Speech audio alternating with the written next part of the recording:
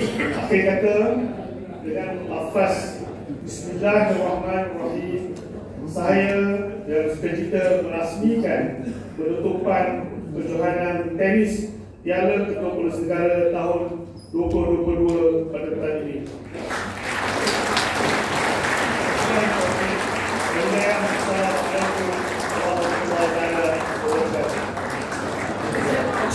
Terima kasih diucapkan kepada yang dihormati Datuk Seri dan yang dihormati Datuk Seri dipohon untuk kekal berada di atas pentas bagi menyempurnakan gimmick rasmi penutupan kejohanan.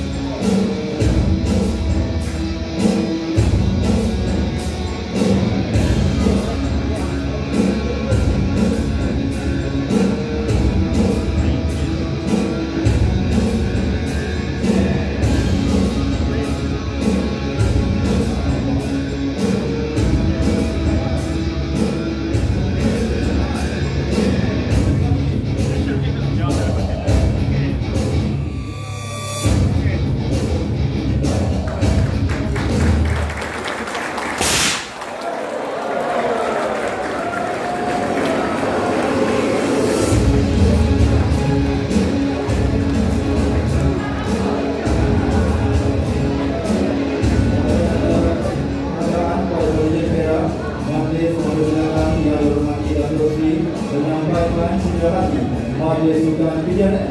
Bagi pihak Ketua Polis Negara kepada yang dihormati Datuk Pahlawan Pemangku Ketua Polis Perak.